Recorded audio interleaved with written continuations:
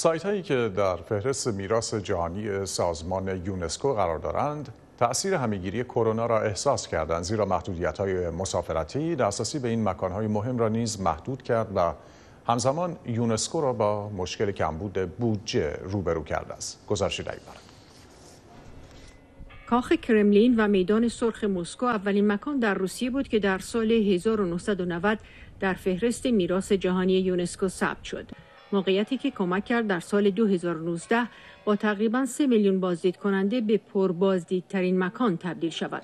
اما همهگیری کرونا در 18 ماه گذشته باعث کاهش تعداد گردشگران و به مشکلی برای مقامات تبدیل شد. که به درآمد گردشگری برای انجام طرحهای مهم مرمت در موزه کرملین نیاز دارند.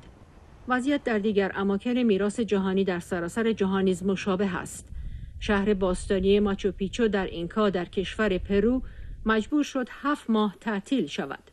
تعطیلی این اماکن که بدون شک بر درآمد آنها اثر گذاشته در این حال فرصتی را برای انجام کار و مرمت آنها فراهم کرده است.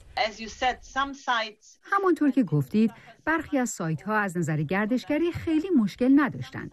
در بعضی از سایت ها از این دوران برای مرمت استفاده کردند چون گردشگران در محل نبودند.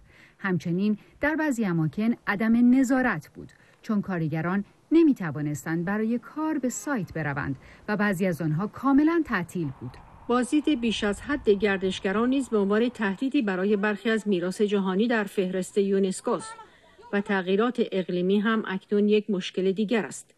اتحادیه بین المللی حفاظت از طبیعت در گزارش 2020 خود نسبت به تخریب 16 سایت از تاریخ 2017 هشدار داد که تنها 8 سایت از میان آنها ترمیم شدند.